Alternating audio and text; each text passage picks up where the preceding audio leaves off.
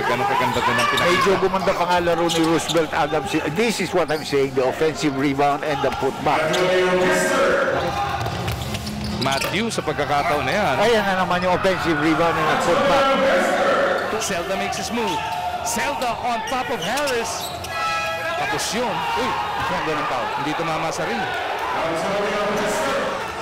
Serious na naman sa pagkakataon na yan. Early entry pass. Doktong talaga. Palabigasan ni Hester yung ilalim na yan. Black players, imports, medyo skinny. Di ba? Ito, medyo ang kapal ng kanyang legs. Eh, no? Hester gets it back from Kabagnot.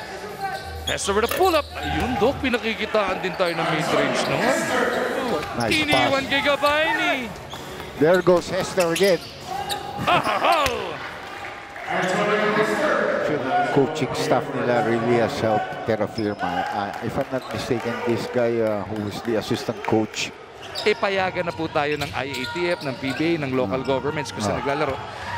As that gem is delivered.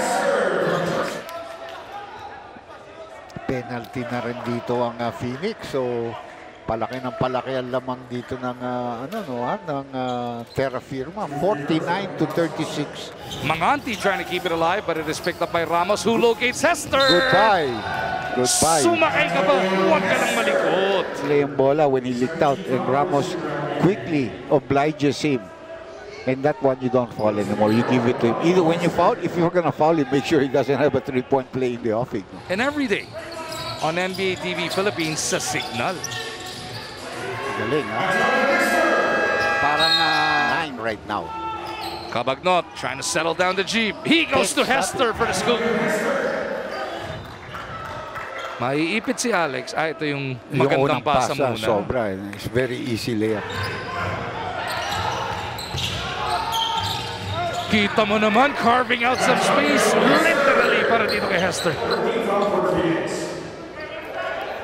Sabi lang Garcia at ni Hasol kanina. Oh, goodbye. what a find by Kahilig there. Ito yung huling atake ni Kahilig. Took the bump, dropped it off. Bahala na si Batman. Antonio Hester yata yan.